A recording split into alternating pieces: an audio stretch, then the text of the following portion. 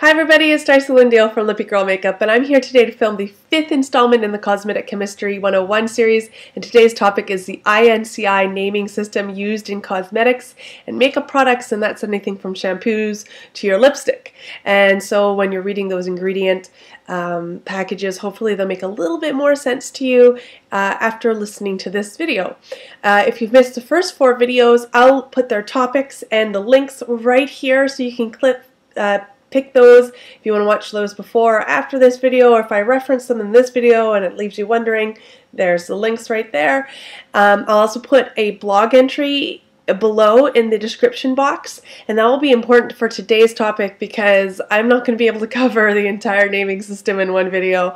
In fact, I kind of want to make it short and sweet and so you guys can see the links if you want to research further and have kind of a broad picture idea of this naming system. And so when you read, uh, sometimes it just gives you a little bit of confidence. So when you approach those packages and read the ingredients, it isn't completely overwhelming um, and you can try to make sense of it and feel your way through it.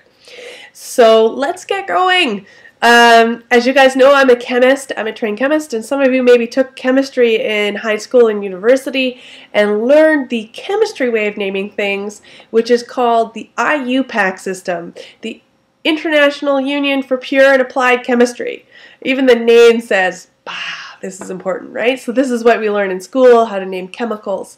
Um, now those chem like the thing about naming chemicals in the chemistry system is we don't care where those chemicals came from. Like we're just counting carbons and looking for functional groups and naming organic compounds. Um, the IUPAC system doesn't really, wouldn't really be great to apply to cosmetic uh, packaging because consumers are concerned about, well, is this natural or is this manufactured? Is this um, a natural derived chemical or is this a human made chemical? And of course, that's very valid. And so the IUPAC system, when it comes to um, cosmetics is just kind of thrown aside. And there's this group called the PCPC, uh, the Personal Care Products Council, and their job, and they're just like a self-regulating body in the cosmetic world, and their job is basically to make the INCI system or write the INCI dictionary, and I may disagree or dislike some of their ways of doing things, but I mean, they have a difficult job, right?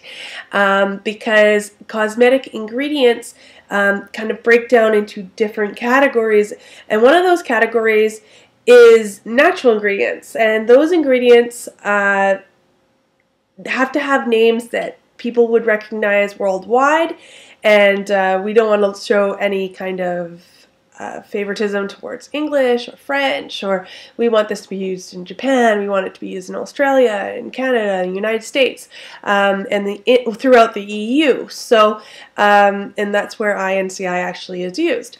So, for natural ingredients, ones that are just coming straight out of an organism, like uh, a plant or you know beeswax, we're just going to give those their Latin names. Okay, so you've probably really seen these names quite a bit on uh, the back of things because we also are allowed within the INCI system to kind of put the real names in brackets. So you'll see like beeswax or Cera Alba, probably Cera Alba, and then in brackets it will say beeswax. So Cera Alba is the Latin name for beeswax, and then we help you out by putting it in brackets that that's beeswax. Um, so those ones are a little bit easier because we do try to help you um, with the natural ingredients. Where I find the INCI naming system a little bit annoying, um, and by way, by way, I don't know if I said this, the INCI naming system stands for the uh, International Nomenclature of Cosmetic Ingredients. So it is just for cosmetic ingredients.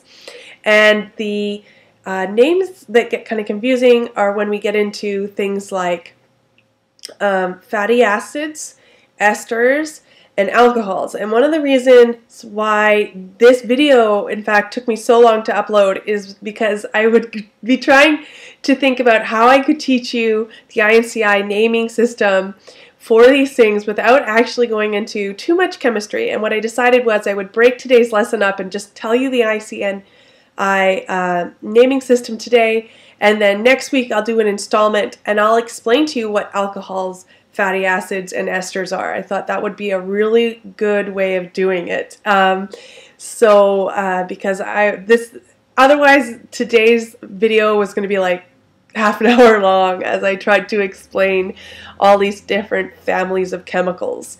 So that's kind of um, the area that INCI gets a little confusing is in these chemical family groups.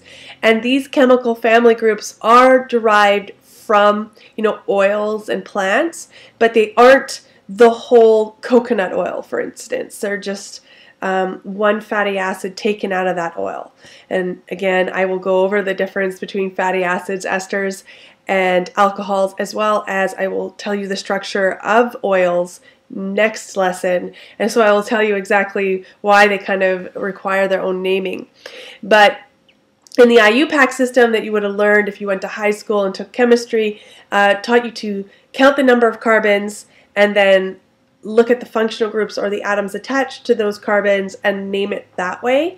And the INCI system follows that. They just have a totally different naming system, and I don't know why they did that. So, a really good example is octane, right, which is what we would say for eight carbons in IUPAC. They just, for whatever reason, decided not to use octane, and they were like, okay, let's use caprylic. And so, if you ever hear caprylic acid, it's really just um, octanoic acid in IUPAC naming. And I don't know if that helps you at all, but basically they have counted carbon molecules or atoms, sorry, and then assess their own naming system, which is totally different than the chemical naming system. And if you ever like go to the PCP website or uh, listen to their reasons why they use this numbering system, they say their numbering system is shorter and easier to understand than the chemical naming system. But I don't know exactly how naming octanoic acid caprylic acid is easier for you. I mean, octanoic acid, oct for us rings eight, doesn't it? You know, everyone knows about an octagon, uh, but they they made things a little fancier, uh, and a lot of those roots come from, you know, the source that we normally find these fatty acids or these carbon chains from, and so. Um, what I'm going to do in my blog is I will list the common um, IUPAC names, like you know numbers and then beside it I will put the INCI name system. Uh, but basically there's no there's no way to know the INCI naming system unless you memorize it. And even me, like when I was going to make the labels for Lippy Girl lipsticks and you know blushes and lip products, I mean I found myself looking up the INCI dictionary because it is the only way to do it. You're never going to learn the INCI naming system. You can kind of know the ins and outs. You can kind of know their numbering system. Um, you can know the common ones. Um, the other thing is the dictionary just gets bigger and bigger and bigger because before, like if a company wants to use an ingredient for their cosmetic product, they literally have to, before they can write their labels, um, present that chemical or that um, ingredient to the PC, PC, PC, PC and uh, enter that ingredient in the INCI dictionary before they can include it. So the dictionary is always growing as more and more ingredients are added to cosmetics. And um, a lot of the times, the people that are introducing these new ingredients uh, to their cosmetics are just making up the names or suggesting names that are then being accepted. Um, so there's there's no way to know the INCI naming system without memorizing it. And what I would suggest is that if there's certain ingredients that you don't know or whatever, there are so many great databases, and in fact, a lot of them I'm going to link in my blog uh, so you can look them up. Um, that you do look it up because um, a lot of times I have girlfriends who just don't read their ingredients because they feel like they're in school again and they're like, I don't understand it and I don't want to read it. And I think that's the worst thing you can do. Um, the nice thing is, is um, when a company is only using natural ingredients, then you'll only see Latin names and uh, things that you really understand on the ingredients. Um, unfortunately, a lot of natural ingredients are extracts from those oils, and so the, then you'll start seeing um, you'll see some, like a lot of the times, like dodecanol, which is an alcohol taken from coconuts, or caprylic acid, um, again taken from coconuts. They look like they might be chemicals because they're not listed, like they're not they're not Latin names, but they are actually just taken from coconut oil or taken from uh, they're just extracted from a plant. So um, the best thing to do is to find these databases and uh, look up the ingredients you don't know and just kind of get a little bit more educated.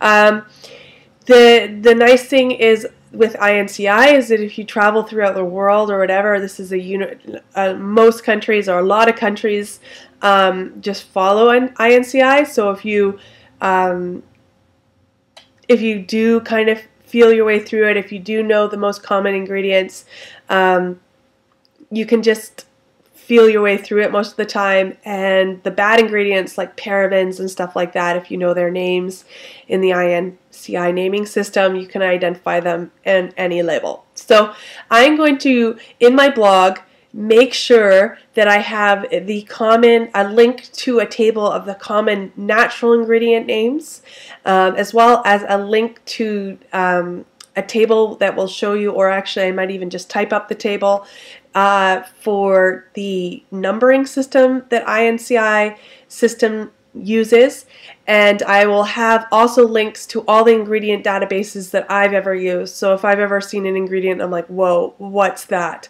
Um, I will show you the databases that I use to look those up.